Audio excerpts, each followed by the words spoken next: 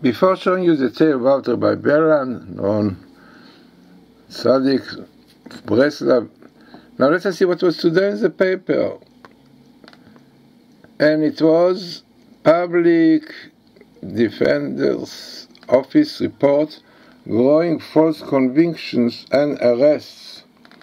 Report from 2013 reveals many problems in law enforcement, including legal advice except preventing and law limiting the possibility of repeat.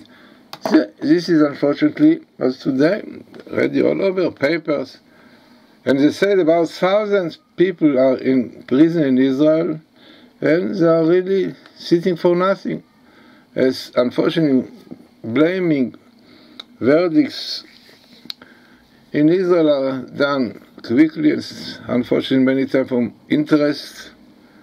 And many of them, um, especially rabbis, they try to catch rabbis when they see the great influence of people like Rabbi Pinto and Rabbi Berland, who knows to be a great tzaddik, and many, many people came back to Judaism, Torah, through his work. So Unfortunately, as we have in Israel now, government of mixed multitude, Erev Rav, which are against Torah, as we see clearly, all the time they try to do everything Orthodox Jews. There's no surprise they tried to do. So they took some women, maybe they even they paid me money, who knows, we don't know exactly, but as they said, that all this blaming Rabbi Berland is really based on almost nothing. And we could see even today this Amsterdam court where Rabbi Berland came in, released him. So no doubt, unfortunately, we are in such situation in Israel that they try to get rid of people that they don't like. And it is a fact, nobody can contradict it. So let us see the table about Rabbi Berland. So in the paper, as we said, mentioned about him, but let us see what the Torah says. Now we looked for a best meeting of Eliezer, you see Eliezer, Berland definitely could not come in one skip, too many letters. But it came best meeting with this word Eliezer, and amazingly coming clearly liable. Liable, and who made this liable? Erev Rav. This is a mixed multitude, written that before Messiah they will be ruling and will do everything to disturb Judah and Torah.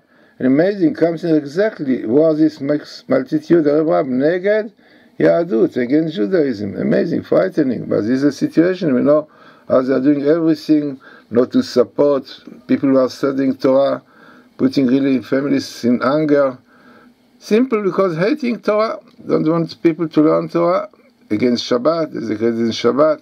Now this is one of the signs before Mashiach. Our rabbis in Sanhedrin said, before Messiah will be great opposition to rabbis, categorical Chachamim, against people who are studying Torah and also that the law, the judges in Israel will not be the right one, and with the Mashiach, coming Mashiach, Hashiva Shavtach B'Shana, then will be proper judges, proper Torah law, not accepting people charges, not relying on two witnesses, but sometimes even one witness, which sometimes also not reliable one. So unfortunately, the situation comes now clear, clear from all kind of things. Some judges were found also doing the wrong thing. Now, amazingly, you have also about uh, Rabbi Eliezer Berland, Sadiq is a righteous Besdom. Yeah, we know Sodom, we know the judgment in Sodom, how they were. So some say that unfortunately this kind of judgment we have in Israel. What we can do, I don't say it, but there are many who say it today, as you could see in the paper. So interesting table about Rabbi Eliezer Berland, Mashiach. It doesn't mean that he Mashiach, but it is a time before Mashiach, as we said, liable against him by the mixed multitude who are against the Judaism. So let us realize now we're coming to the month of Elul, doing repentance. There's a lot to do repentance for, unfortunately. And amazingly that all these things come out now.